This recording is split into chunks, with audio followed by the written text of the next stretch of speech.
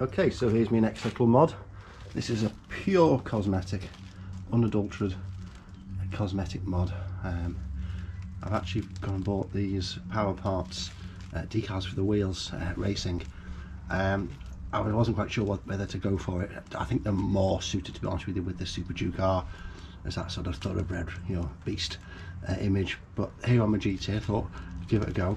I've actually put the first slot on. I didn't want the pressure of recording it and making a mistake, so I've done the first set. So I'm just going to quickly walk you through what I've done.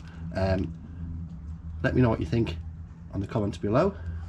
Speak to you later. Okay, so the other thing to mention is uh, make sure you're not dyslexic. Make sure you spell it right. I've just gone to put the first letter on and it was the wrong bloody letter. Anyway, so this is the um, each of the letters. So you've got the clear film on top, the white letter underneath, and the backing. So what you're doing, you're taking the backing off first to leave the letter stuck to the inside of the clear vinyl.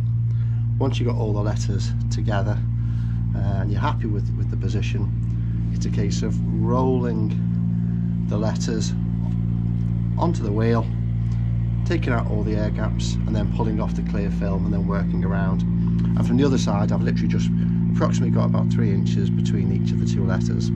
The other thing I've done here is I want to make sure that what each of the, the two words, so the racing word on that side is 180 degrees opposite where I want this, so I don't want them both on the same side of the wheel. So yeah, so uh, I'll just crack on now.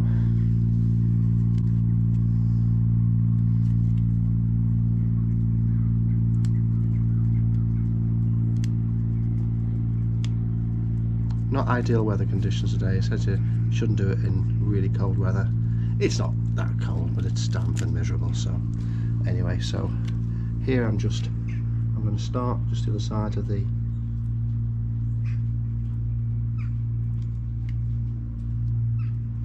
balancing weights and I'm literally just going to leave it stuck there so I'm just going to have the letter just the other side of the um, the edge of the wheel here.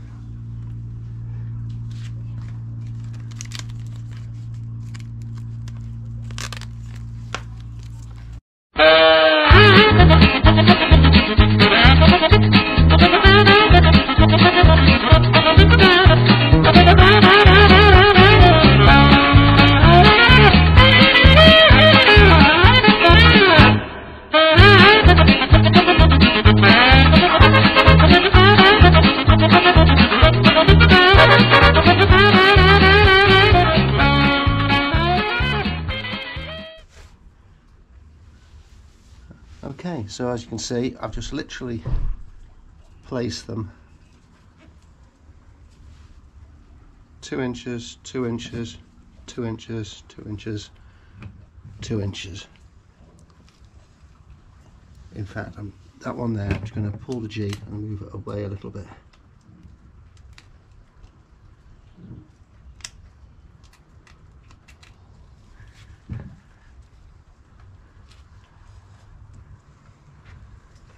About right. So yeah, so it's just a case now of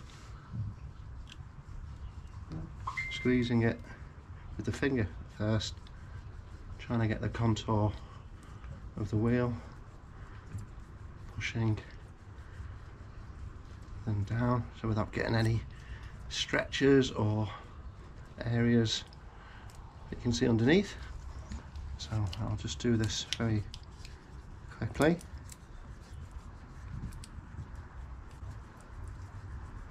Work your way around. I always find it's better to use the finger because you can actually feel the contours of the wheel.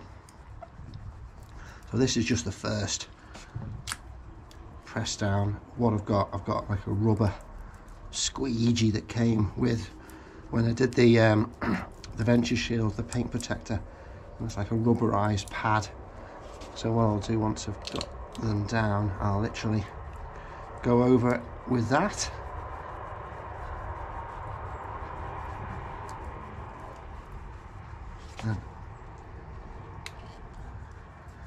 the actual plas white plastic is pretty stiff, so it's not fragile to the touch, it's pretty robust. So happy with that there.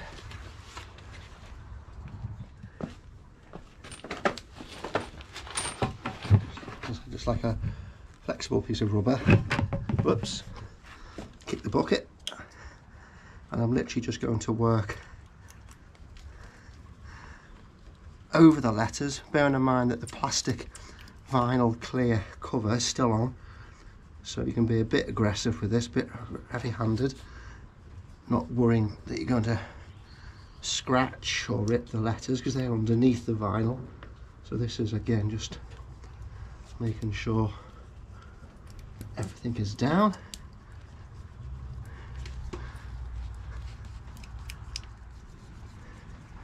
Okay, happy with that. And all I'm going to do now is take the actual clear vinyl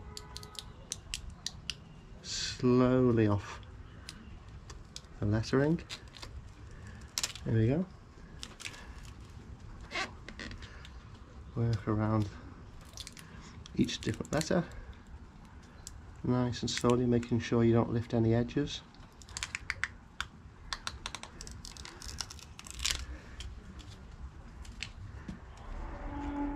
As you can see, there we go. Let me just show you the other side. It's easier to see. So there you go. Basic. So quite pleased with that.